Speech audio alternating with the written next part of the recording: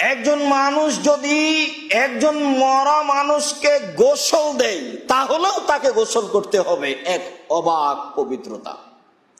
আবু হরাইরা রাদিয়াল্লাহু তাআলা আনহু বলেন, রাসূল আলাইহি সাল্লাম বলেছেন, মান গাসসালা মাইয়াতান ফালিয়াগতাসিল কোন মানুষ যদি কোনো মারা মানুষকে গোসল দেয়, তাহলে সে যেন গোসল করে। জরুরি আদেশ। আমি একজন মরা মানুষকে গোসল দিলাম আমাকে গোসল করতে হবে কেন? আমি কি করলাম? জীবাণুর কোনো ব্যাপার থাকতে পারে, যা আপনাকে আমি বহুদিন বলে এসেছি। রাসুল সাল্লাম ঘুম থেকে উঠে পানিতে হাত ডুবাতে নিষেধ করলেন। তিনি বললেন, আগে হাত ধৌত করতে হবে, তারপরে পানিতে হাত দিয়ে অজু করতে হবে। এরপরে যখন অজু আরম্ভ হয়, তখন প্রথমে হাত দুইটি কবজি পর্যন্ত ধোয়া হয়। এরপরে যখন কোনই পর্যন্ত ধোয়া হয়, তখন আপনার আবার কবজি ধোয়াই পড়ে। এরপরেও পূর্বে তিনি হাত ধুইতে বললেন, কেন কবজি পর্যন্ত? কবজি পর্যন্ত ধোয়ার পরে পানি হাতে নিয়ে মুখে নাকে দিতে হবে। মানে প্রথমবার ধোয়ার পরেও জীবাণু হাতে থাকতে পারে। তাই অজুতেই প্রথমবারে এই কবজি পর্যন্ত ধুইতে হবে। তারপর মুখে পানি, তারপর নাকে পানি। আমি বুঝতে পারি আর না পারি। তাহলে একজন মরা মানুষকে গোসল দেওয়াচ্ছে যে তাকে গোসল করার জন্য রাসুল সাল্লাম আদেশ করেন, ইসলামে পবিত্রতার বিধান। যে ব্যক্তি মারা যাচ্ছে পরকালমুখী, তাকে গোসল দিয়ে জানাজা দিতে হবে। তাকে গোসল দিতে হবে। যদিও শহীদ হয়ে গেলে তার গোসল নেই। রাসুল সাল্লাহ আলি সাল্লাম বলেন, যেই মারা গেছে তাকে গোসল দিতে হবে।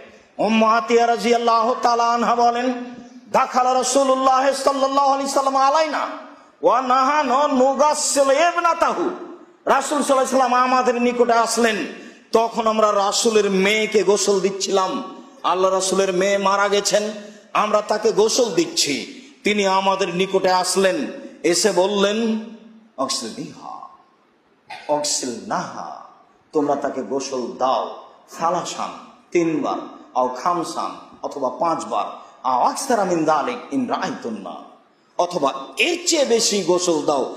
যদি তোমরা মনে করো, যদি তোমরা মনে করো, তিনবার গোসল দেওয়াতে ভালোভাবে পবিত্র হয়নি, পাঁচবার দাও। যদি তোমরা মনে করো, পাঁচবার দেওয়াতে ভালোভাবে হয়নি, আরও দাও। যতবার প্রয়োজন ততবার দাও। অফিরে আয়তিন অন্য এক বর্ণনায় তিনি বলছেন ওয়াজা আল্লাহ বিত্রান। তবে তাকে তবে তাকে গোসল বিজোড় দাও। যতবার দিবা, ততবারের বিজোড় হতে হবে। তার মানে তাকে পরকালমুখী করার জন্য খুব ভালো করে পরিষ্কার পরিচ্ছন্ন করতে হবে। শরীর ভালো করে ডলে পরিষ্কার করতে হবে। এখনও বাক্য শেষ হয়নি। তিনি বলছেন ওয়াজা আলনা ফিল আখিরাতে কফুরান শেষবার গোলাপ জল দিয়ে গোসল দাও। গোলাপ জল পানিতে ঢেলে দাও, পানিতে ঢেলে দিয়ে তাকে গোসল দাও।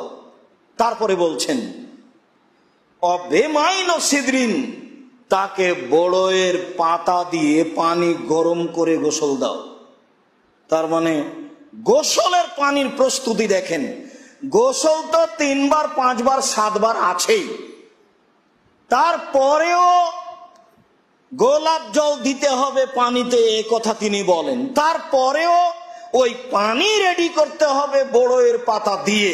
তার মানে বড়য়ের পাতা দিয়ে পানি গরম করলে শরীর বেশি ভালো পরিষ্কার হবে। যেমন এখন সাবান দিয়ে মানুষ ভালোভাবে পরিষ্কার করছে বলে মনে করে।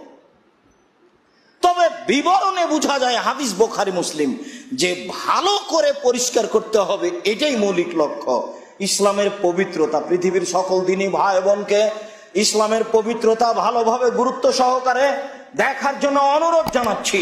একজন মরা মানুষকে পুরুষ হোক, নারী হোক, তাকে গোসলের বিধান কেমন হতে পারে তা স্পষ্ট দেখে নেন।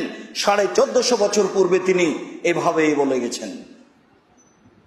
এরপরে তিনি নীতিতে বলেন অদ্দানা বে মায়ামেহিন্না ও মাদিল অজুয়েহিন্না তোমরা গোসল শুরু করো তার ডান দিক থেকে। তোমরা গোসল শুরু করো তার অজুর স্থান হতে। মানে তাকে অজু দিয়ে গোসল আরম্ভ করতে হবে। মানে তাকে বাম কাতে সইয়ে দিয়ে ডান কাতের উপরে পানি ঢালতে হবে। দিয়ে তাকে পরিষ্কার করার চেষ্টা করতে হবে। রাসুল সাল্লাহ সাল্লাম এইভাবে গোসলের কথা বলেন। উমা আতিয়া রাজি আল্লাহ তালা আনহা বলেন আমরা এইভাবে গোসল দেওয়ার পরে আমরা তার মাথার চুলকে বেনি করলাম সালাসাতা করুইম তিন বেনি ও আল কায়না খালফাহা, তারপর বেনি করে আমরা সেটাকে তার পিছন দিকে ঝুলিয়ে দিলাম। তিন বেনি বলতে চুলকে তিন ভাগ করে একটা আর একটার মধ্যে ঢুকিয়ে বেনি করে দেওয়া, এর এটাই উত্তম। নইলে তিন বেনি মানায় না। এছাড়াও মানুষ যদি তিন বেনি করে, তাহলে চুলকে নয় ভাগে বিভক্ত করা লাগবে। এর তিনটা, ওর তিনটা ওর তিনটা। তাহলে হলো তিন বেনি এছাড়াও মোট চুলকে তিন ভাগ করে একটা আর একটার মধ্যে দিয়ে বেনি করে পিছন দিকে ঝুলিয়ে রেখে দিয়ে তাকে কাফন পরাতে হবে, যা বিবরণে বোঝা যায়। সম্মানিত দিনী মুসলিম ভাই বোন